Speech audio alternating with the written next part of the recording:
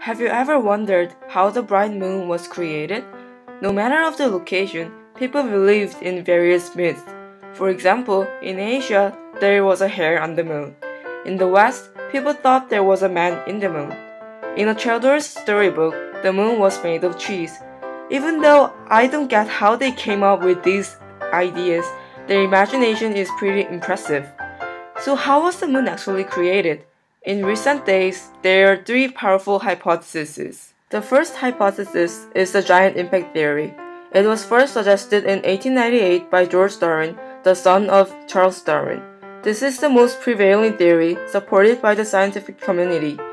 According to this theory, the moon was created by a collision. The early universe, or the solar system, was very violent and unstable. The Earth was formed with a leftover cloud of dust and gas, which were orbiting around the Sun. There were a lot of incomplete, planet-like bodies created which couldn't be like the Earth.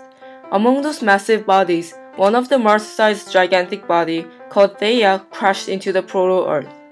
It threw away all the vaporized chunks of the young planet's crust.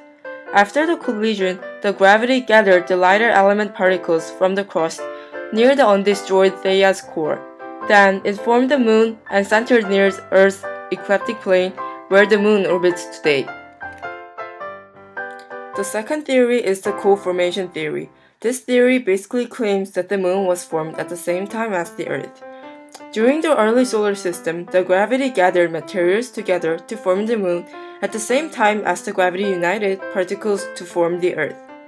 This explains why the moon and the Earth are mostly made of the same materials and the moon is at the present location. However, the moon is less dense than the Earth which wouldn't be the case if both of them started with the same heavy elements at the core. The last theory is the capture theory. It describes that the rocky body, which was formed elsewhere in the solar system, have been drawn into the orbit around the Earth and got captured. Imagine the Earth pulling the moon as a strong magnet pulling a small paperclip. This typically happened to the other moons in the solar system, such as Martian moons of Phobos and Deimos though the other moons that were formed in this way were usually oddly shaped like a potato, not spherical like our moon. Furthermore, our moon's orbit is at 5 degrees, which is on the ecliptic orbit of the parent planet, the Earth. But those oddly shaped moons usually don't match up with the parent planet's orbit. To sum up, the most plausible theory is the giant impact theory so far. However, there are proofs that support this theory, it isn't 100% sure. Anyway, it is just interesting to learn about these awesome theories that scientists have studied. The end.